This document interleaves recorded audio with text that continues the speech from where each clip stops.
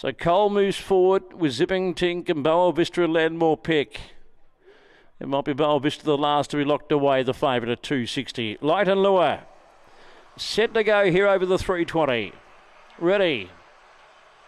Bang, Cole Bennett again, faster lead. Into second spot, Kenya Hornet coming across, and then Cadillac Black, followed by behind them was Landmore Pick and Zipping Tink got into bother. Spin arounds last of all. Cole still the leader. Kenya Hornet's not there yet. Then came Boa Vista three lengths away. Still Cole in front. Kenya Hornet trying very hard, but Cole's pulling out plenty. And Cole got home to beat Kenya Hornet and Boa Vista into third, and a gap away into fourth placing Cadillac Black.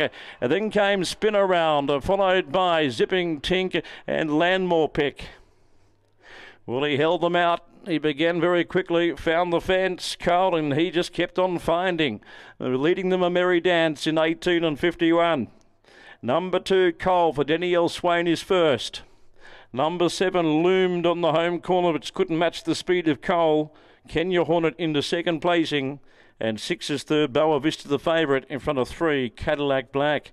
So two seven six three, three quarters by three, two fifteen, seven sixty four. The run home time ten and eighty seven, and the race time is eighteen and fifty one. And Cole, tab number one, uh, number two, in fact, is too strong here by Barcia Bale at a moment to jive at start five, win two. Owned and trained by Danielle Swain.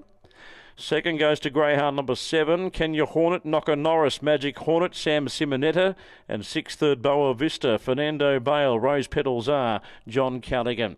Two seven six three here on the eleventh. Just awaiting the tote dividends on the York Clear to wrap up the penultimate race.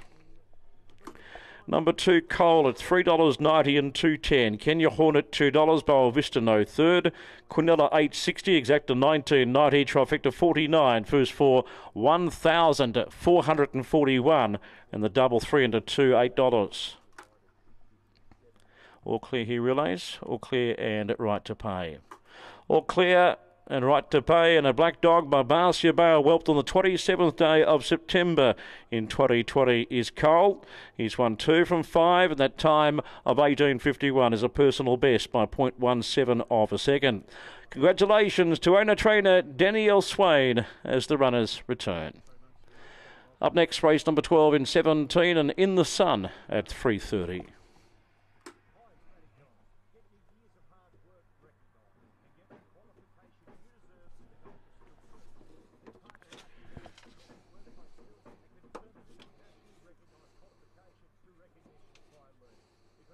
career options, increase the salary, or even get